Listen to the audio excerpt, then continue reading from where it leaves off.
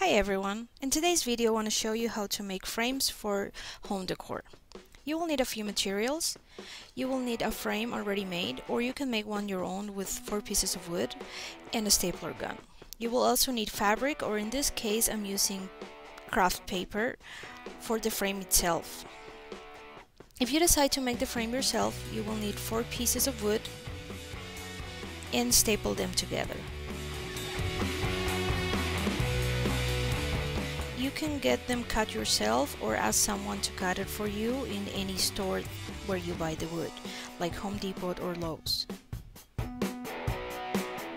But if you decide that you want something already made, any photo frame or any other frame already made will work for it. Then you just need to place the paper or fabric if you decide to use fabric. Cover the frame and staple it.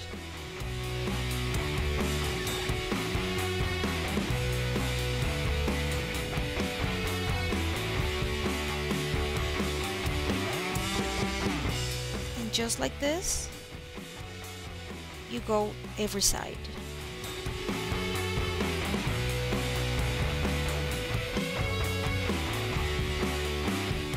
You can customize your frame choosing any kind of designs colors, and patterns.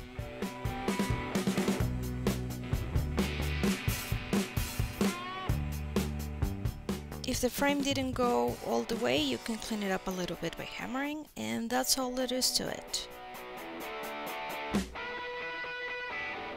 Then there's ready to go to the wall. You can combine different colors, patterns, and so to create different galleries and different wall arts. Here are just a few examples.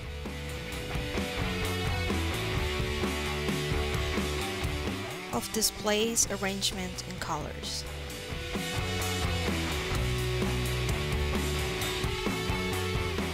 I hope you like this kind of videos and if you do, give it a thumbs up or leave a comment below so I will know.